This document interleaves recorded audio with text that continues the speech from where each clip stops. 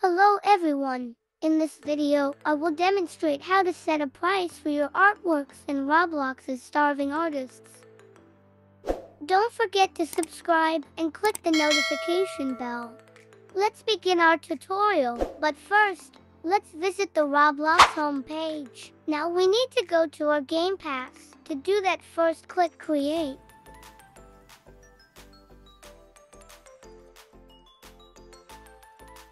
If Roblox takes you to a different page, you can watch my other video on how to make a Game Pass. Now, select your place. And then, click Associated Items.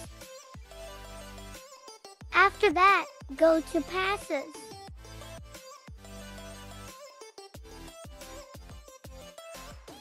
Now that you're here, you must select the Game Pass that you created, but in my case, I'll choose this one. Now choose Sales. You can put any price you want here, but I'll put 15. And then select Save Changes. You can see two groups of number codes at the top of your tab, but we only need the second group. So, now we must copy these numerical codes.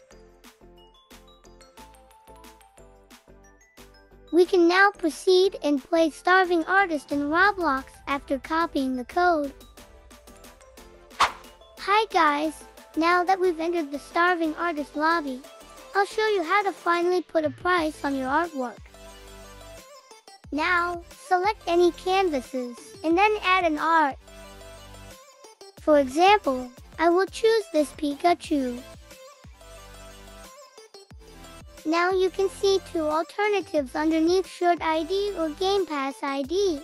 But in our case, we need to select Game Pass ID and then paste the number code that we copied earlier.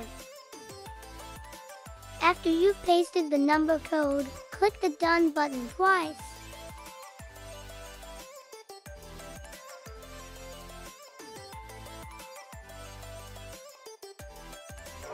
Finally, your arts have been priced.